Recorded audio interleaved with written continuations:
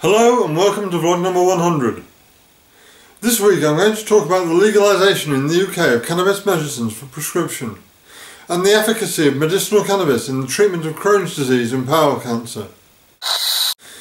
This should be a truly significant vlog, not just because it's my 100th vlog, but also because cannabis medicines have been rescheduled in the UK as of November the 1st, thus allowing them to be prescribed by specialist doctors.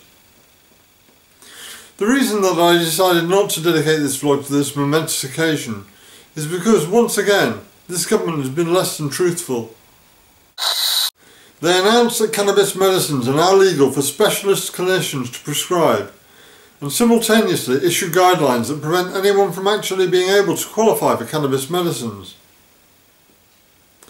I'd love to be able to say that this is down to government incompetence and that it's an unintended consequence of poorly thought out guidelines.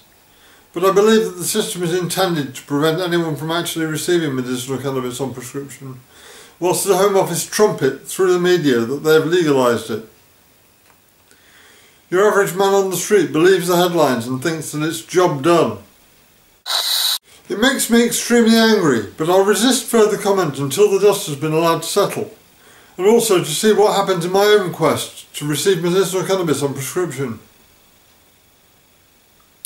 On the subject of medicinal cannabis, I will instead provide an update on my friend Jenny, who has been using full extract cannabis oil, along with dietary changes recommended by a holistic therapist, to treat her Crohn's disease and the aftermath of bowel cancer. Since starting to take the oil in early September, Jenny has seen her NHS consultant twice, following a colonoscopy. The first appointment was in late September. Jenny is still receiving traditional treatment, steroids and infliximab infusions, as well as the cannabis oil and dietary changes that she has made, so that clouded the waters a little bit. Her consultant said that the pictures that they took during her colonoscopy showed a reduction in inflammation, but there was nothing to prove one way or the other that this was down to the cannabis oil, dietary changes, or the traditional treatments. Until they get some blood test results to show that her traditional treatment isn't responsible for this, she will be continuing with that treatment. But Jenny is pretty sure that the recent improvement in inflammation, and hence her symptoms, is due to the cannabis oil that she's been taking. This was recently confirmed when she missed three days of cannabis oil because of cash flow problems. Almost immediately the symptoms of her Crohn's disease re-emerged to be instantly banished once more when she restarted the oil.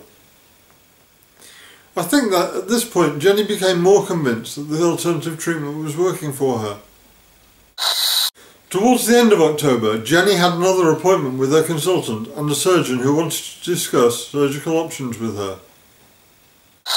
Her consultant was astonished that inflammation markers in her previous stool sample had gone from 3,000 to just 66 on whatever scale it is that they measure these things on.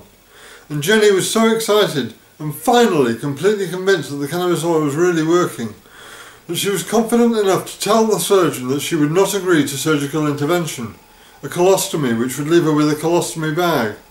And the surgeon then left the room. She told her consultant that she was taking advice from an holistic therapist and had changed her diet to include a lot of herbs, spices, vitamins and oil. Her consultant merely raised his eyebrows and said that he would be happy to monitor her progress, since whatever she was doing was evidently working. Since her previous appointment, Jenny has managed to reduce her intake of steroids to just 2.5 milligrams per day, and has lost 5 kilograms of the weight that she had put on because of them, and is awaiting the results of tests prior to reducing them further still, and also for blood test results which should show the current state of the cancer markers which were previously slightly raised. She is also still awaiting the test results that will show whether or not her infliximab infusions are proving effective, but I think that her complete outlook has been changed by the realisation of what the cannabis oil is doing for her. She's completely over the moon about it and more determined than ever to complete the treatment, whatever the cost, and the cost is significant. I feel angry that finding the money to pay for this medicine is causing Jenny and her husband Dave to get deeply into debt, when this treatment should be available on the NHS and is far cheaper than the traditional treatments that she's receiving. particularly when a number of studies have been done over a number of years which show that cannabis is therapeutic for people with Crohn's, and it is well known within the Crohn's community as an effective treatment. It reflects badly on our government that Jenny is too afraid to request medicinal cannabis on prescription because of the likelihood of being refused the one medication that actually works for her, despite the official line from the Home Office that it is now legally available. I think it is shameful. I am running a Just Giving campaign to raise money to help Jenny and Dave. So if you feel able to make a donation, then I know they will be extremely grateful.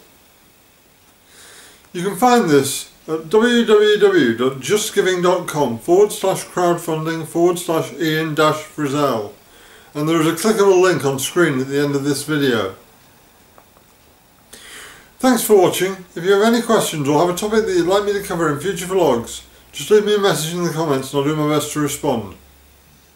Have a great week. See you next Friday.